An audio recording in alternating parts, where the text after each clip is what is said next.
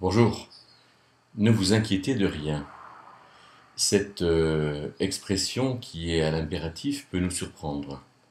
Euh, on peut penser que nos états émotionnels euh, ne sont pas des choses que nous contrôlons facilement, et pourtant dans la Bible, il y a cette expression ne vous inquiétez de rien, qui ressemble à celle que Pierre peut faire, en 1 Pierre 5, verset 7, de rejeter notre souci.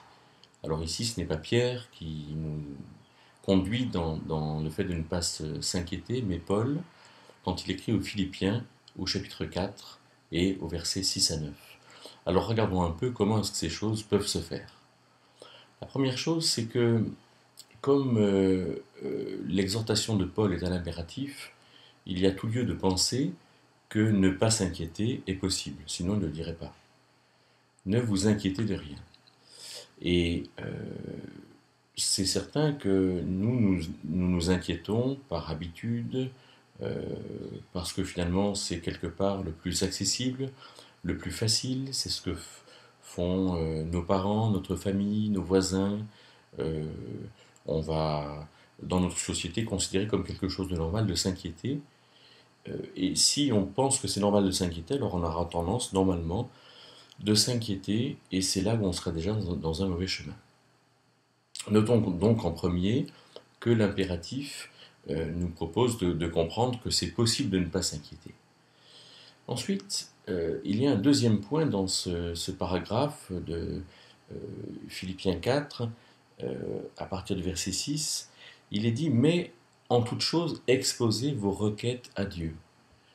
En toute chose, exposez vos requêtes à Dieu, comme si on, tenait un cahier, par exemple, de toutes les choses qui ne vont pas, Hein, par exemple, j'ai mal dormi, je suis trop gros, euh, je risque d'être licencié, je ne m'entends pas bien avec quelqu'un, j'ai blessé quelqu'un d'autre, euh, la société ne va pas bien, la pollution, la crise économique, etc.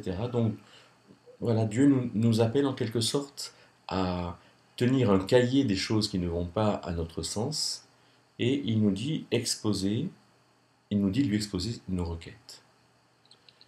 Alors, euh, là aussi, euh, est-ce qu'on prend le temps de, tout examiner ou est-ce qu'au contraire, on a plutôt l'habitude de, de mettre sous le tapis, de nier, de ne pas se souvenir, de ne pas être lucide? Non, non, on préfère aller au cinéma et voir des choses qui n'existent pas, hein, essayer de rêver, essayer d'être dans, dans euh, quelque chose dans lequel on, on a un peu le monde des bisounours et dans lequel finalement nous n'avons pas de problème, mais quand on quitte euh, ce monde-là, alors on retrouve nos problèmes et peut-être avec plus de force. Donc exposez vos requêtes à Dieu par des prières, des supplications, des prières, des supplications avec, euh, voyez, ce sens différent de, de, ce rapport à Dieu, mais ce qui est avant tout un vrai rapport à Dieu. Euh, c'est, je crois, avant tout cette relation véritable à Dieu qui va changer euh, notre regard sur les choses difficiles que nous vivons. Je pense que euh, si nous prenions le temps d'examiner une par une les situations difficiles, les, points particuliers de nos situations difficiles, et que nous prenions le temps de recevoir de Dieu un regard juste, un regard vrai, alors nous verrions comment finalement on, on comprendrait qu'on peut non seulement passer entre les gouttes, mais que ce, euh, cette vie qui reste une vie difficile à laquelle Dieu nous appelle a tout son sens et que nous pouvons euh, quelque part nous approprier ce sens même si nous ne le comprenons pas absolument.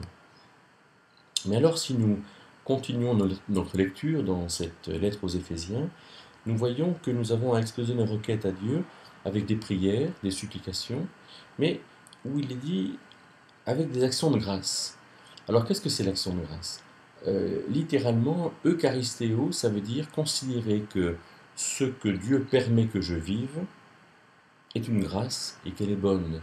C'est une bonne grâce. Eucharistéo, E c'est bon et grâce c'est charis.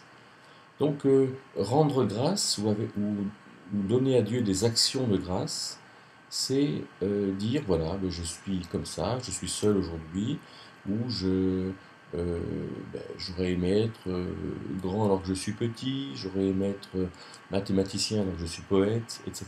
Non, je rends grâce, je reconnais que Dieu, dans tout cela, est souverain et que finalement, il y a un, sens tout à fait profond et tout à fait appréciable à la vie à laquelle Dieu m'appelle. Donc, je rends grâce. Oui, j'ai des difficultés, mais j'expose ces difficultés dans mes requêtes et dans mes explications je rends grâce, je reconnais que Dieu est, euh, finalement par-dessus tout souverain. Et il nous est dit, et la paix de Dieu, laquelle surpasse toute compréhension, gardera vos cœurs et vos pensées dans Christ Jésus.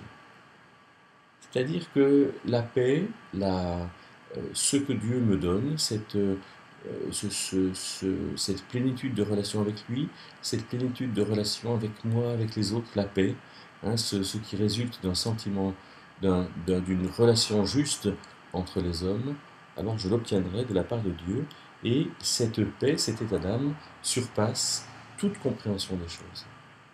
Eh bien voilà comment ne pas s'inquiéter. Au passage, s'inquiéter en grec, euh, mérimno, veut dire être partagé, veut dire euh, quelque part hésiter entre ceci et cela. Alors que si je regarde de manière simple, de manière pleine, toutes les circonstances dans lesquelles Dieu euh, permet que je sois placé, alors les choses prennent une réalité tout à fait différente, puisque quelque part je reçois euh, cette paix de Dieu dans sa, dans sa présence et avec tout ce qui peut en découler.